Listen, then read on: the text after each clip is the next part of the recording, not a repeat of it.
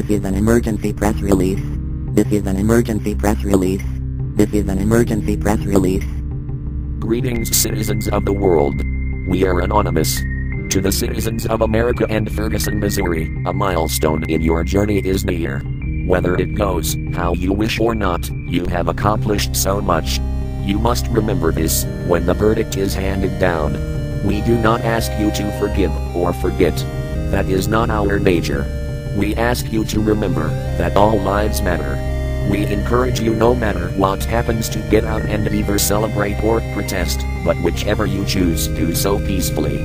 All the good that your communities have accomplished over the past three months is beyond amazing, it's beautiful.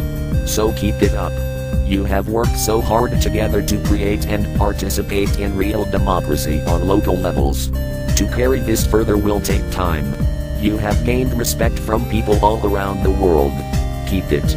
When the verdict comes down, look after your fellow man. Do not loot, riot, or harm anyone. The fight is not over yet. Peaceful methods take time and patience. You will not win every battle, but in time you will win the war. The world has seen the behavior of American law enforcement towards peaceful protesters. Though it may not be every city in America, nor every cop in those that are, it's become obvious enough that there is a major flaw in the system. Amnesty International has declared human rights violations in Ferguson. We all saw Officer Go Thug yourself and all the rest. We saw journalists and activists injured, threatened, and jailed. We heard of the no-fly zone blocking media. We have recently witnessed the parents of Michael Brown going overseas to testify before a UN torture committee. We have all come too far to halt progress with emotion. Keep this journey going. We have seen more and more police departments adopting body cameras. There are more and more discussions on racial and ethnic profiling. Give this all time to expand, grow, and fruit.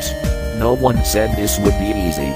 Though many of us wish to see an indictment, if it is not handed down, we must fight on, but peacefully, democratically. The revolution has already begun.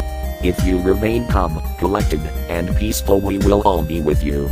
Those of you who take the law into your own hands will lose all support and tarnish the good that has been done. Just remember, the whole world is watching. Make us proud. Show us your humanity. It may not always seem so, but things are changing. Give it time. Those who have died unjustly due to police brutality will be remembered through peaceful actions.